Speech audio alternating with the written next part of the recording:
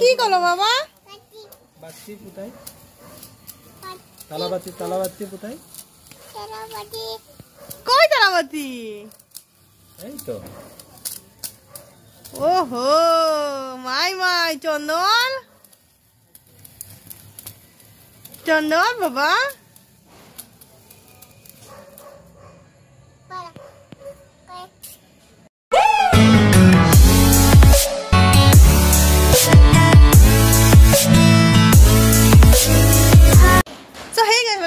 Channel তো আজ হচ্ছে গিয়ে, আজ হচ্ছে মঙ্গলবার, আর এখন হচ্ছে সন্ধে পাঁচটার দশ, আর এখন থেকে আজকে আমি আমার ব্লগটা স্টার্ট করছি।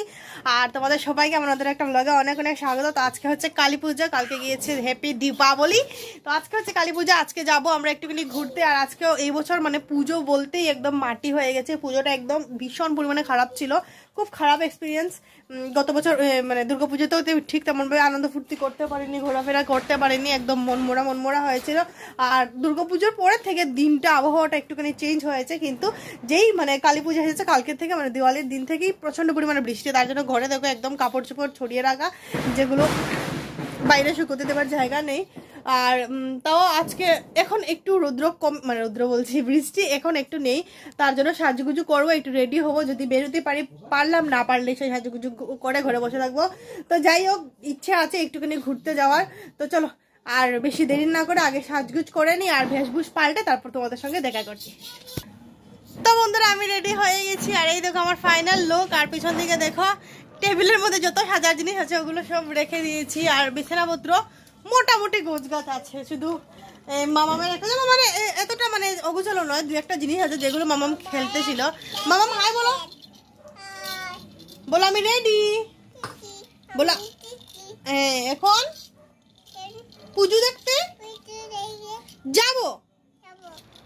গুড গুড গার্ল তো হাজব্যান্ডও রেডি হয়ে গেছে, আর এখন যাব আমরা বেরু বেরু করতে।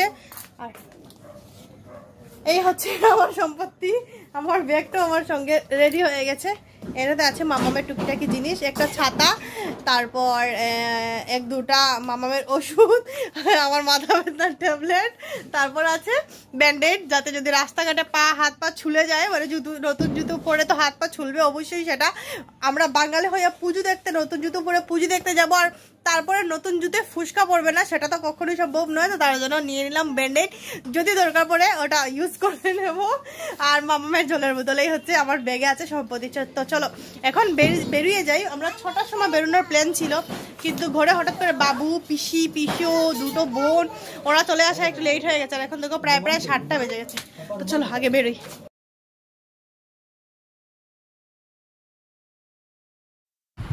তো বন্ধুরা, আমরা বেরিয়ে পড়লাম পুজো দেখতে আর প্রথমেই আমরা গেলাম আজকে মালগ্রামের দিকে। তো এবছর এম- এম- এমনি মানে বিয়ের আগে কালী পুজোতে মোটামুটি দু থেকে, দু তিন দিন তো বেরোতামই।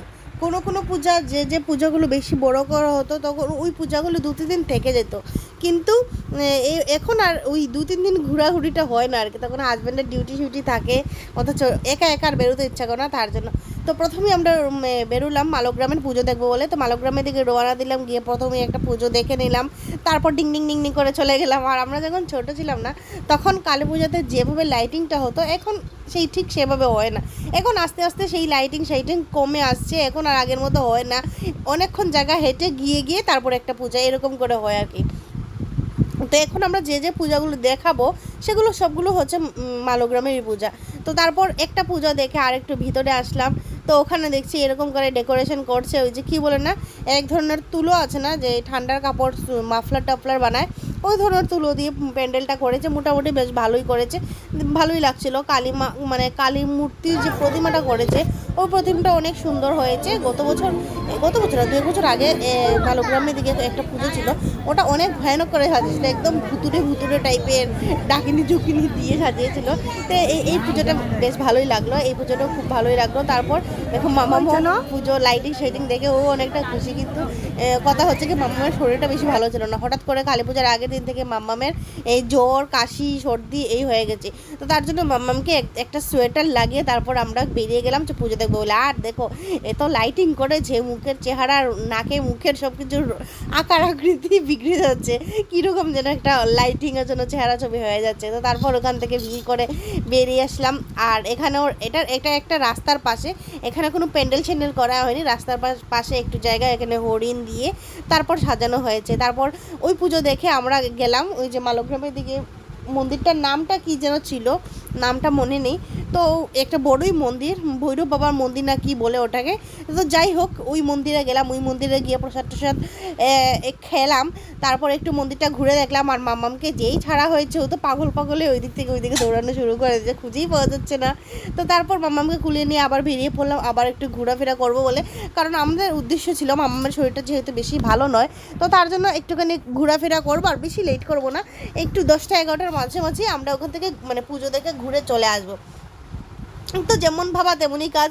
তারপর কোনো জায়গায় বেশিক্ষণ সময় দাঁড়াইনি সবগুলো পূজা মোটামুটি একটু একটু করে দেখে নিয়েছি। আর তারপর মালগ্রামের, এটা হচ্ছে আমরা, আমাদের দেখা লাস্ট পূজা। তো এই পুজোটা দেখো, প্যান্ডেলটা করেছে। প্যান্ডেলটা দূর থেকে অনেকটাই ভালো লাগছে।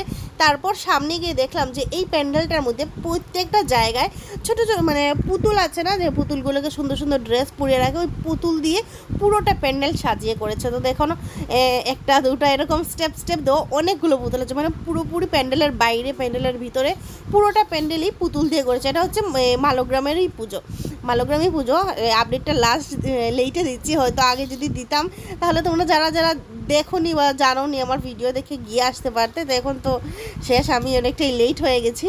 তো দেখো, এখানের মন্দিরের ভিতরটাও পুরোটা লাইন করে অনেকগুলো পুতুল খরচ করেছে। তোমরা জাস্ট ভাবো যে কতগুলো পুতুল লেগেছে মানে ওদের এই প্যান্ডেলটা সাজাতে গিয়ে। তো প্রত্যেকটা মানে পুরো প্যান্ডেলটি আমার ভীষণ ভালো লাগছে। আর উপর দিকে ওই যে কী বলে, প্লাস্টিকের ঝুড়ি ঝুড়ি আছে না? ওই রকম ওইগুলো কালার করে, তারপর ওগুলো উপরে ওই কি বলে ওটাকে? ঝুমার। ঝুমার করে উপর দিকটা প্লাস্টিকের ঝুড়ি কালার করে সাজিয়ে তো প্যান্ডেলটা বেশ ভালোই লাগল। পুরোটা প্যান্ডেল চারিদিকটা ঘুরে দেখলাম, তারপর একটু ভিডিও শিডিও শ্যুট করার পরে ভাবলাম যে না, ওই জায়গাটা দু একটা ফটো উঠি, তারপর দু একটা ফটো ক্লিক করে তারপর বেরিয়ে আসলাম, কারণ বাইরে অনেকটাই মানুষের লাইন আমরা যদি বেশিক্ষণ ভিতরে থাকি তাহলে হবে না, তার জন্য বেরিয়ে আসলাম, আর ওই প্যান্ডেলটা মোটামুটি সাতাশ, আঠাশ তারিখ পর্যন্ত, আঠাশ তারিখ পর্যন্ত ছিল। তারপর আমরা বেরিয়ে আসলাম। আর এখানে বাইরে সুন্দর অনেকটাই বেশ ভালোই ছিল। কিন্তু কথা হচ্ছে গিয়ে, এই বৃষ্টি হয়েছিল তো আগে।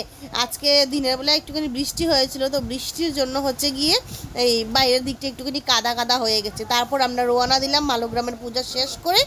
আমরা রোয়ানা দিলাম জানিগঞ্জের পুজো দেখব বলে। তো জানিগঞ্জের পুজো দেখব বলে আমরা এদিকে তুলাপুট্টি হয়ে ঢুকেছি। আর তুলাপুট্টি হয়ে ঢুকে শ্যামসুন্দর আখড়া, তারপর হনুমানজির আখড়া যেতে রাস্তার মধ্যে কালীমার ছোটোখাটো পুজো, ওইগুলো দেখলাম। আর মাম্মামকে ছেড়ে দেওয়া হয়তো, মাম্মাম পাগলের মতো এদিক থেকে ওদিকে দৌড়াচ্ছে। কারণ এই রাস্তাটাতে ভিড় একটু কম ছিল ঢোকার পথে, আর গাড়ি ঘোড়া তো ছিলই না, তা তার জন্য ও ছটফট করেছিল একটুখানি নামবো বলে।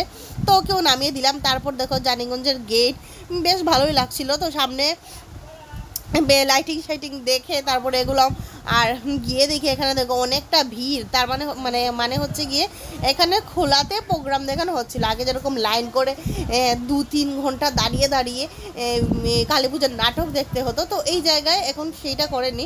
একদম খোলা ওপেন রাস্তা দিয়ে দেখাচ্ছিল। একদম ভিড় হয়ে এখানে নাটক দেখানো শুরু করে দিয়েছিল। তো আমরা একটুখানি সময় গেলাম, গিয়ে দেখি মোটামুটি শেষ। তো তারপর হাজব্যান্ড বলল যে, আর বেশি এগিয়ে মানে এগিয়ে গিয়ে কি, কী করবে? তো চলো আমরা এখানে একটু সময় দাঁড়িয়ে প্রোগ্রামটা দেখে ফেলি। তো তারপর আমরা লাইন যারা যারা দেখল তারা চড়লো তারপর আমরাও দাঁড়ালাম। আর দাঁড়িয়ে আমরা পনেরো মিনিট অপেক্ষা করার পর গিয়ে এখানের নাটকটা শুরু হলো। তো যাই হোক, অপেক্ষার পালা শেষ, নাটক শুরু। তারপর আমরা নাটকটা পুরো এনজয় করলাম, দেখলাম। আর এইখানে ভিড়ে দাঁড়িয়ে দেখি মাম্মাম ঘুমিয়ে গেছে আর মাম্মামের হেয়ার খুলে নিয়েছিল বলে মানে হেরে যাবার বয়ে আমি আমার এই ভিড়ে আমার মাথায় দিয়ে দিলাম। তো নাটক সাটক দেখে টিকনিং টিং করে আবার রওনা দিলাম যে বাড়ির পথে। এখন মামাম ঘুমিয়ে গেছে আর ঘুমিয়ে মানে ঘুমিয়ে থাকার পর পুজো দেখে ঠিক সেইভাবে আরাম লাগে না। যদি সজাগ থাকতো, জেগে থাকতো, তাহলে হয়তো আর একটু সময় ঘুরে দেখতাম। তো বাড়িতে আসার পথে জানিগঞ্জেই দেখো একটা এখানে কি করেছে? এই ডুমরু শিবের যে ডুমরু না ওই ডুমরু টাইপের ডুগডুগি টাইপের একটা প্যান্ডেল করেছে। তো ওটাও বাইরে থেকে দেখে নিলাম আর ভেতরে ঢুকলাম না। তারপর বাড়িতে চলে আসলাম।